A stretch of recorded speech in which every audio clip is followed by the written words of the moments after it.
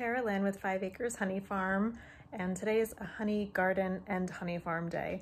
And I realized after I filmed everything throughout the day that I forgot to record an intro and an outro. So uh, let's go around and visit the quail, the chickens. I'm gonna do a little bit of uh, gardening in the in-ground garden, working on the high tunnel, also on the pond garden, and uh, going in the hives as well. Uh, so let's go take a look. I just sprinkled a handful of scratch and some mealworms for them. I need to fill up their little jacuzzi, which is that little tray where I put some ash in.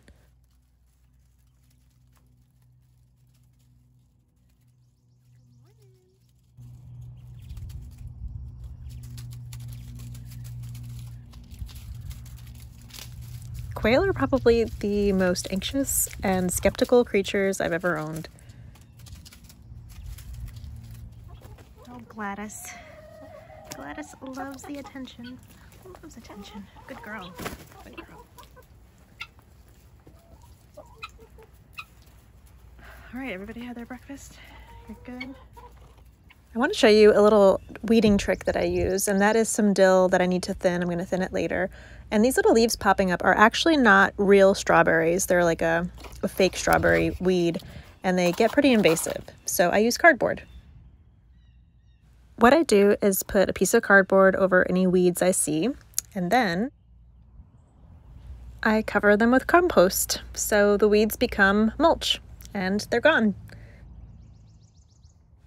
I'm about to do the same thing on this side. There's a lot of weeds encroaching from the uh, garden fence, getting closer to all the lettuce and broccoli all done. And the other benefit to this is that I don't have to disturb any roots. So not pulling anything up, not disturbing the soil. Everything can just stay in place. It's super simple. Also working on the high tunnel, I just pulled the tarp back over there. I'm not gonna work on this side yet because this is where I'm gonna put the peppers and tomatoes, but I really need to get the potatoes in the ground and I'm gonna use this whole length of the side. I've had the best success with tarping and then putting a layer of cardboard and then putting um, compost straight on top. So that's what I'm doing in here, just repeating what I've had great success with. And um, hopefully we'll get the plastic on the high tunnel in the next few weeks. It is so gorgeous out and I can't wait to get in the hives later. Quick update on the pond garden um, doing some transplants. I potted up last summer some bee balm I found in the woods, and so one plant turned into like seven or eight plants there. So I'm gonna let that spread around here. They, and then all these daffodils had already been here, and I didn't know where it was when I put the pond in. So some of the uh, the daffodils got stuck under the rocks. Uh, my friend just dug up some irises and um, split the bulbs, so I just put some over here because they will love all the runoff from the pond. I also put my mallow in and a few cardinal flowers finally. And I have still to cover some, some of the cardboard. I just brought over a wheelbarrow full of um, compost and covered that up. I've got some motherwort I'm transplanting, lavender and sage. I'm gonna work on those later in the week, but you can see all the compost that I just put in over here and just need to keep bringing more over. Um, as part of my permaculture design certificate that I just got, the instructor for the class pointed out that I should really put in some like stepping stones in here, so that is my plan too. And I'm thinking of planting something in this tree stump, so if you have ideas, let me know. Let's test the limit of the Liberty overall pocket.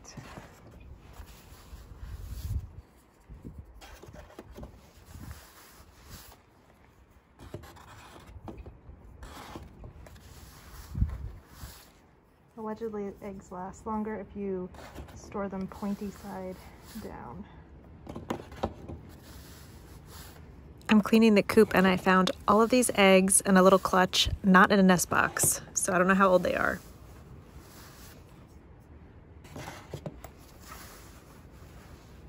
Just keeps going going. I think that is it. Almost a full dozen. All right, their run and their coop are clean. Uh, the, there's a bunch of straw bales I just piled up there. Their food is fresh, their water's fresh. very, very much a, a, spring cleaning day. And poor Loretta, well, poor Princess Cardamom, Loretta keeps chasing her. And I, you can see she's kind of bluish because I had to spray her with Blu-Kote. She keeps having her feathers pulled out by everyone. Um, but yeah, now I can go do the hives. Here's Queen Ophelia, very, very busy. Good to see.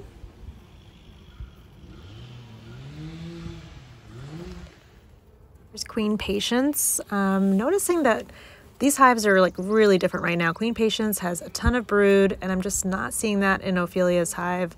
So I think I'm gonna give um, some kind of feed supplement, um, like a pollen patty or something to Ophelia to get her going.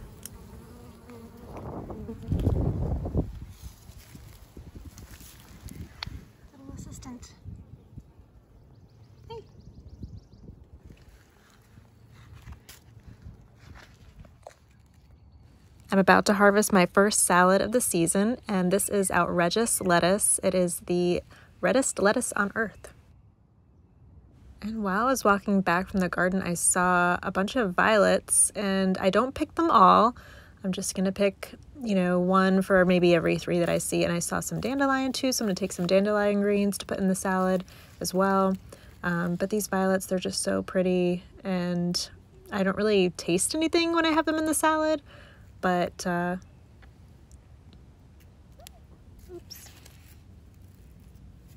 but they're just they're just so cute.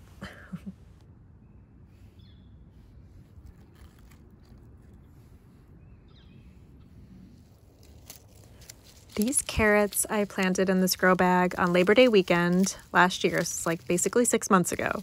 And a little over six months ago and and I just want to pull out one to see how big they are and plus that'll give some room for the remaining carrots to grow a little bit bigger and um, they really like to get their leaves stuck together.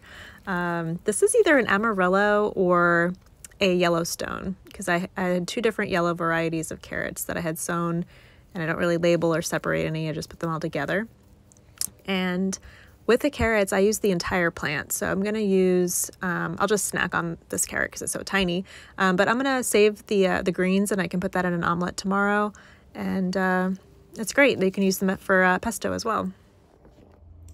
So thanks for coming along. And if you are new to following my channel, I post new videos every Sunday, Monday, and Friday all about beekeeping, gardening, um, chickens, quail, and all the stuff that, uh, that you just saw today. Definitely comment if you've got some questions, um, like, subscribe, all that good stuff, and uh, stay tuned for more.